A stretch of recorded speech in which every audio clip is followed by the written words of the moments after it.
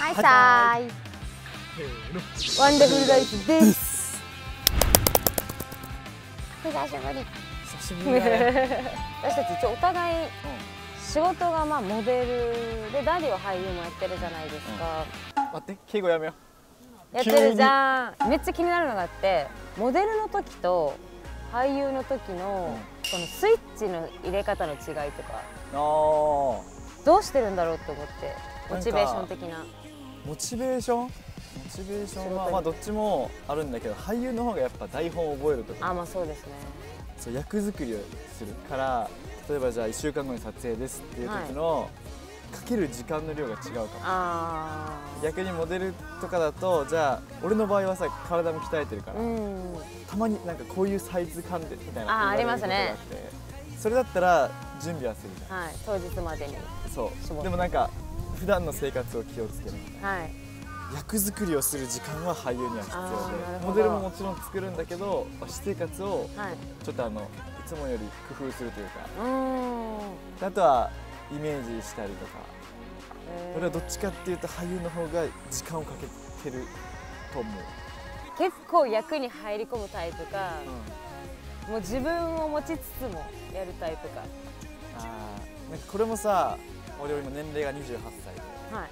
若い時はそれこそなんか自慢じゃなきゃイケメン役とかあが多かった。でも年齢を重ねるにつれてちょっと悪役とか悪役。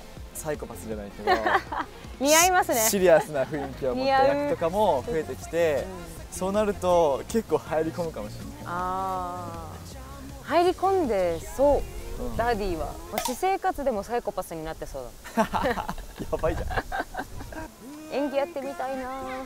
えメリーは？モデルやってるじゃん。モデルもうなんか本当にじゃあ撮りますの寸前まではメリーなんですよ、うん。なんていうかさくらなんですよ。さくら。さくらはいでいるんですけど、カメラ向けられた瞬間になんかメリーになります。私が言うてまだ1年経ってない。まだ全然浅いから私もまだ探り探りうんうん。だけどやっぱりまだあれですね。カメラマンさんにこうしてああしてって言ってもらった方がやりやすい、あでもそれはあるよね、はい、自分でなんか何も言わないカメラマンさんとかも中にはいらっしゃるじゃないですか、もう自分を表現してくださいみたいな、うん。そうするとめちゃくちゃ「ああああってなりますねクール系が得意。クール系が得意だ。からあ可愛く撮れないんですよねそういうのあるよね。フェミニン系はちょっと。フェミニン系。はちょっと無理ですね。でもやっぱさ、まあ、今モデルとか俳優とかの話してるけど宮古島少ないじゃん。はい。あ確かに。そう。本島はいるけど。でメリー大柄だったじゃ はい大柄でした。でダイエットしてからモデルやってみようかなみたいな、うん、いやもともとまあモデルを目指してたわけじゃなくてうん、芸人？私は芸人。まあでも本当に渡辺直美さん的な存在になりたかったのはあるんですけど。いいじ でも太ってても芸能はやりたいとは思ってて。でも歌が好きだから歌やりたかった。でも受け実際事務所に入らせていただいうん。て、そしたらまあちょっと歌じゃないね君は。あ言ってたね。はいせっかくこのボディを手に入れたんだったらそのボディからやってきなさいみたいな、楽しい、うん、楽しいです。楽しい。楽しい。楽しいことやるの大事だよね。楽しくないとちょっとあれですね。逆にさちょっとあこれは難しかったなみたいな。難しかったのはだからその商品のイメージモデルとかやる時に、自分じゃなく商品を目立たせないといけないというかそうだね。自分がメインになってはいけない。うん。そこをやっぱ自分がどうしても出たいじゃないですか。あだからそこをあ抑えて取ってもらうならね。はい、商品をう見せるみたいなのを意識するのが最初はちょっと慣れずに手こずったけど慣れれば楽しいですよね。慣れるまではもう日々日々ん今どこ見てんの？今あのボールを一生懸命蹴ってる子供を私も目で追いかけてます。サイコパスなやけ言ってみたよね。俺と話してるのになんか子供を見てこうやって。困ったこととかあります？サイズ指定があったの。うん。でもともとプロフィールにさ書いてあるサイズがあって、そううん。おパンツの。おパンツ。おパンティの。おパンティー。プロフィールにあるサイズからもう少しじゃあここはこれぐらいで。ちっちゃくちっちゃくですか？大きくですか？ち例えばじゃあチェストはこれぐらいで、はい。福井なんていう腹あーはいはい、は、はいこれぐらいでだったら多分こういう体型になるのでそういう目安お願いします、うんこれで多分合ってるんだろうけど実際行って当日急にクライアントさんが求めてるあれでいけるのかなみたいなのはあったけど。でもなんか俳優もモデルも準備ができてない時は、うん。やっぱりちょっと不安に思う。自信がない時確かに。あとはケータリングに歌舞伎揚げがあればもうテンション上がる。それわかりますめっちゃ。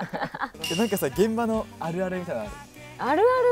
例えば例えばヘアメイクさんが大体あの男女両方の気持ちを分かる人とか。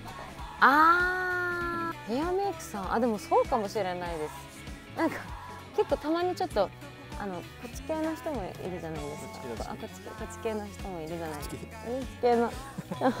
そういう人とかだとめっちゃ話盛り上がるじゃないですか、うん。ほぼほぼ女性が多いんですけど、だってヘアメイクさんって過ごす時間結構長い。長いです。ヘアメイクさんと一番仲良くなりますね。ならないと結構現場きついよね。はい、で私が基本的に骨格がやっぱアメリカ人の骨格なんですよ。幅が全部大きいんですよ。だから急に話変わるんですけど。一回。いつも急に変わるから。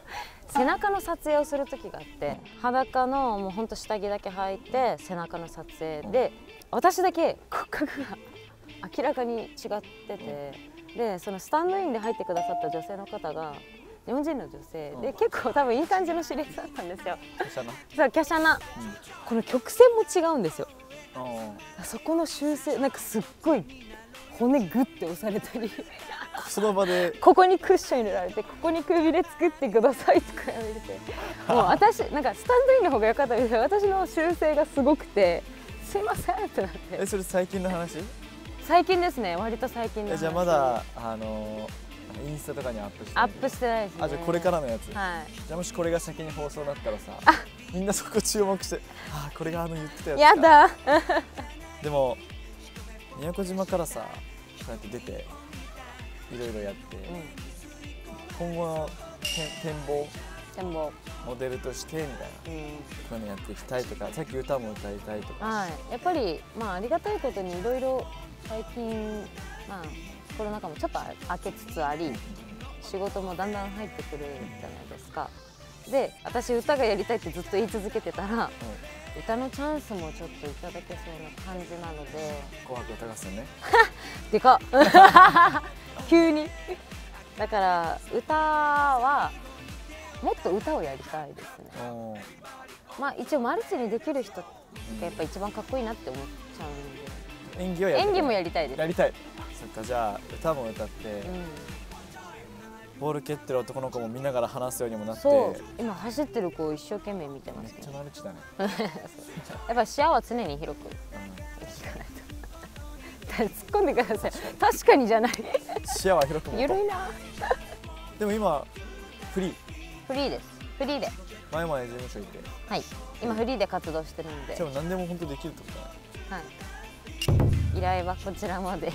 これ何？何も出ないメリー。メリー。インスタアカウント。インスタアカウントまで。でもなんか宮古島の子たちはどう思う思ってんだろうね。